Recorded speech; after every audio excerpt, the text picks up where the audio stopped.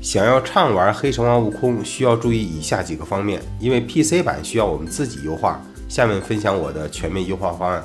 第一步，在玩之前先更新显卡驱动。八月二十号，英伟达发布了一款《黑神话：悟空》的专属优化驱动。N 卡玩家，特别是四零系显卡，建议用这版驱动或者更新的。第二，有条件尽量用手柄玩，最好用有线手柄玩，因为有线相对无线延时更低，反应更快。这点延时区别对于手残党来说是十分重要的，因为如果你再打不过大头，就不能说是无线手柄的问题了。好，下一个，我们在玩游戏之前最好让电脑重启一下，启动后什么软件都不要开，只打开《黑神话：悟空》，后台也不要挂什么聊天软件。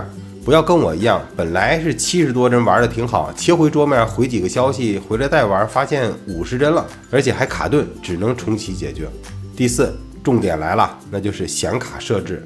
我的宗旨是以稳定的帧率为目标，不要一味的提高画质。虽然这个游戏确实很漂亮，场景跑分测试最好能到七十帧以上。在这儿我要提醒各位。这游戏不同场景帧率差很多啊，比如刚开始看到二郎神的时候，我这儿能跑九十多帧，等到桃子那段变成六十多帧了，一缕白烟特效变成四十多帧，然后跑图打斗五十多帧。我听说后面遇到黑熊怪帧率还得降。我尝试过很多设置方案，最后还是系统默认推荐的不错。我用的是四零八零显卡，它推荐的是四 K 分辨率全影视级，光追超高，DLSS 五十。开帧生成，在这个配置下，树林跑图还有新手村三个 BOSS 都能稳七十多帧。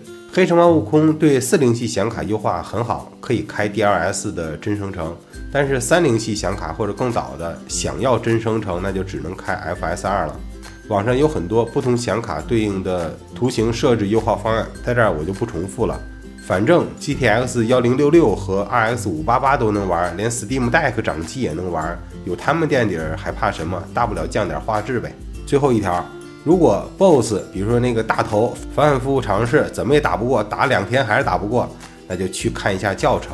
我开始打大头和广志也打了很多次，后来看了教程，发现我的天赋点点错了，二段棍没点出来，输出差了好多，差了一倍。等点出来之后，两三把就把广志给过了。好了，以上就分享这么多，算是抛砖引玉，给大家参考。